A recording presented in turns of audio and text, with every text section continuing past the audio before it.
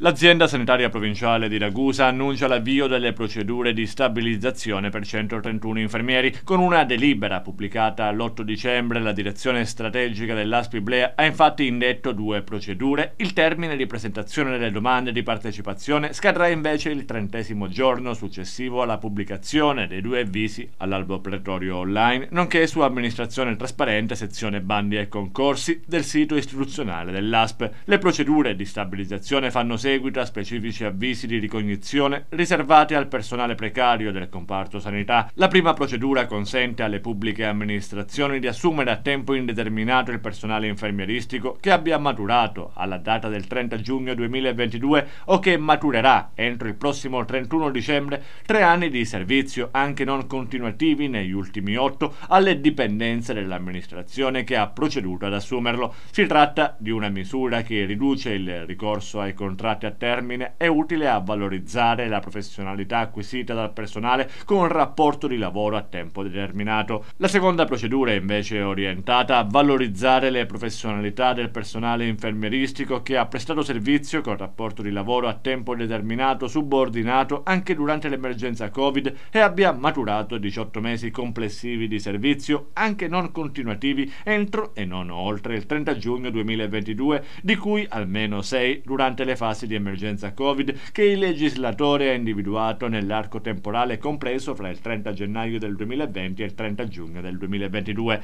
Le procedure serviranno a coprire un fabbisogno totale di 131 unità, garantendo l'accesso all'esterno per la copertura del 50% dei posti restanti, come previsto dalla legge, e confermano, ancora una volta sottolinea l'ASP, la sensibilità dell'azienda verso le aspettative di tale personale.